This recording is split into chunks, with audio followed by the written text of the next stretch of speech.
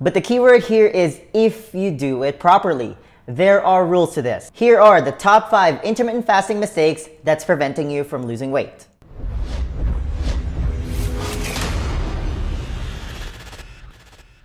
What's going on guys? Carlo Macapinlac here from newbiefitnessacademy.com. I help busy professionals lose weight so they can feel more confident and get the most out of their lives. If you're new to the channel, make sure you hit that subscribe button to get notified every time I post a new video every week and make sure you follow me on Instagram where I post daily awesome fitness content just like this. Listen, in my opinion, Intermittent fasting is one of the most powerful methods of weight loss. Its efficacy is unparalleled if done properly. It's one of the main strategies that I use with my private coaching clients and they've all gone to see some amazing results. So you know it works. But the key word here is if you do it properly. There are rules to this, and with any set of rules, mistakes are bound to happen along the way. Here are the top 5 intermittent fasting mistakes that's preventing you from losing weight. Number 1. You're eating too much carbs. We're gonna start with this because this is a big one. This honestly prevents people from losing weight period. But before we dive in too deep, we need to establish a baseline first, okay? If you just delete liquid calories, if you delete refined carbs like cookies, chips, pasta, pizza, if you delete excess sugar like, I don't know, fruit or candy, for example, if you delete fake foods like protein bars and granola bars, and if you eat a lot of nutrient-dense foods, if you revolve your diet around plants and animals, you're gonna lose weight. Intermittent fasting will just help you get there faster. And that's where mistake number one comes in. A lot of people get into intermittent fasting because they see all these crazy results. So they do it, they take care of the fasting part, but they don't really adjust their diet. And this is such a big mistake. If you've ever heard of the saying that you can't outrun a bad diet, well, you can't outfast a bad diet. Now, let's quickly talk about what happens to your body every time you fast, okay? So one of the biggest benefits of intermittent fasting, and there's a lot of them, is that fasting regulates your insulin levels. This is important because insulin is what controls your body weight. All you need to know is that if your insulin levels are high, you cannot access your body fat for energy, okay? You just can't. So insulin, high insulin blocks fat burning. If your insulin levels are low, that's when your body taps into your fat stores for energy. And if you're trying to lose weight, that's exactly what you want. So if you keep eating a high carb diet, your body is in a constant state of dealing with all the glucose that's entering in your system. So if you have a lot of glucose in your system, that raises your blood sugar levels, and your body deals with that by raising your insulin levels to store all that glycogen into your cells. So if you keep eating a high carb diet, you're putting your body in, in this metabolic limbo where your body doesn't really get into a fully fat burning state. Because when you fast, you drop your insulin levels, but then you eat a high carb diet and then you spike it up again. You have this roller coaster ride where you're neither here nor there in terms of being a fat burner or a sugar burner. And again, being on a high carb diet makes intermittent fasting harder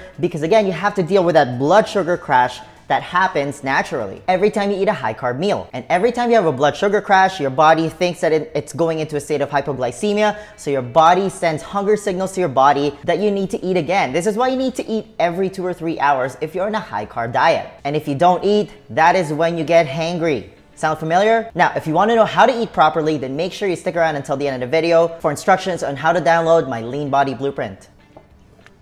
Number two, you're not eating enough. To piggyback off of mistake number one, this is the other side of that equation where you're not eating enough when you're doing intermittent fasting. You know, you try to do too much and this is typical crash dieter mentality, right? Is that you combine intermittent fasting with a low calorie diet. That is a big no-no because here's the problem with that is that if you do intermittent fasting, you're eating a lot of low calorie and low fat foods, you are doing more harm than good. Because usually low fat foods are A, highly processed because to make them low calorie, they have to take the fat out. And B, they're higher in sugar content because every time they take the fat out, they have to replace that with something else.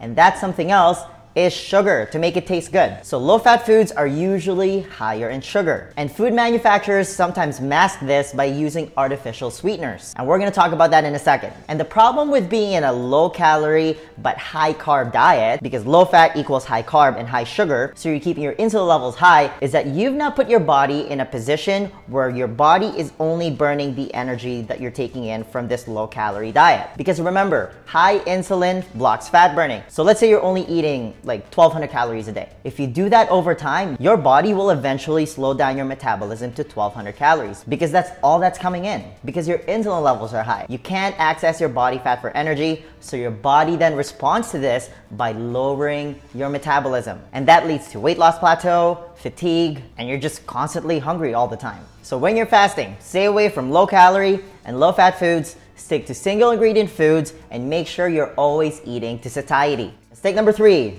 you're using a crutch. Now I'm talking about, you know, your keto coffee or your bulletproof coffee here, where you're adding MCT oil and butter to your coffee. Now I'm not necessarily saying that those are bad things, but MCT oil and butter contains calories, which means that if you take it while you're fasting, your body has to process it. And every time your body has to process something, that breaks your fast. Okay, yes, it does keep you in ketosis because you're taking in full fat. And if you're trying to lose weight, would you rather have your body burn butter or burn your own body fat for energy? The answer is pretty obvious. And another crutch that people use are artificial sweeteners, and this is another big one. I'm talking about drinking Diet Coke or Diet Soda or any drink that's branded as having zero calories. And I have another video that talks about this in further detail, but this is all you need to know about drinking Diet Soda. This whole belief that drinking diet soda, zero calories, and Diet Coke is somehow better for you is probably one of the biggest lies in the fitness industry. That and everyone believing that fat is still bad for you. And I have another separate video that debunks that myth. Here's all you need to know.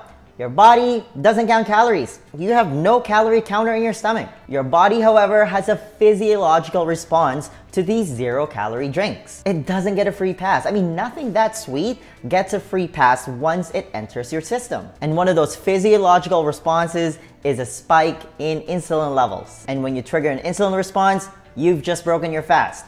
Your body now goes into fat storage mode because your body thinks that there's food coming in because you're drinking Diet Coke, even though it's zero calories. And that's where the term empty calories comes from. But there's actually no food coming in, right? Because you're drinking Diet Coke. So your body then activates the hunger hormone ghrelin and it makes you crave food even more. So as you can see, Diet Coke and Diet Soda does more harm than good. There's also a lot of studies out there that Diet Coke, drinking Diet Coke, destroys your gut microbiome and is directly linked to obesity. Listen, the whole point of fasting is, you know, you want to create periods where you're taking a break from eating. It's not about gaming the system by using crutches like artificial sweeteners and drinking diet sodas. Number four, you're not fasting long enough. Let's get one thing straight out of the way here. If you're just fasting for 12 hours, you're just breaking even. What I mean by that is if you're, you know, eating three meals a day, you eat your breakfast at 8 a.m., you eat your lunch, and then you eat dinner at 8 p.m., you're pretty well balanced, right? So you have a 12 hour eating window, and then you have a 12 hour fasting window. You need to fast a minimum of 14, preferably 16 hours if you want to start seeing results. There's a lot of studies out there that the benefits of fasting actually doesn't start until the 16 hour mark. That's why the 16 hour fast is one of the most popular ways of intermittent fasting and it's also one of the easiest ones to follow because if you skip breakfast, that automatically extends your fast and if you eat lunch at noon and then you eat your dinner at 7 and you're done eating by 8, then that gets you your 8 hour eating window. And if you have a lot of weight to lose, you need to start fasting longer. Listen, you're not gonna die. The average person is carrying around 100,000 calories worth of stored energy in the form of body fat. If you want to lose weight, you need to tap into your fat stores for energy, and you achieve that by again fasting for a minimum of 16 hours every single day. Number five, you're throwing in the towel way too soon. And this goes back to just, you know, having realistic expectations when it comes to how long you're gonna reach your goals. Listen, it didn't take you a week or a month to put on the weight that you're trying to get rid of. What makes you think that a couple of days or a week of fasting is gonna magically get rid of all that excess body fat? It doesn't work that way. Listen, you need to start slow on this, okay? There are levels to this. And a lot of people throw in the towel right away when they do intermittent fasting because they think it's too hard. I mean, you can't just go from zero to 100 on this, especially if you're somebody who typically eats all day, you graze on food all day from the moment you wake up until you go to bed. If you're somebody who's used to eating six small meals a day, maybe just try to reduce that to five meals a day and then four meals a day. And then you eat three meals like a normal human being. And then after that, you start eating a late breakfast. Okay, you adjust that an hour every single day until you get used to not eating breakfast. And then eventually you just wanna have an eight hour eating window. And in that eight hour eating window, you're eating a lot of nutrient dense foods. Again, you revolve your diet around plants and animals, and you're eating a lot of healthy fats and high quality protein. And think of fasting like a muscle, okay? The more you use it, the better you get at it. Okay, the next question then becomes, how are you actually supposed to eat if you want to lose weight? Because let's be honest, 80% of your body composition is determined by your diet.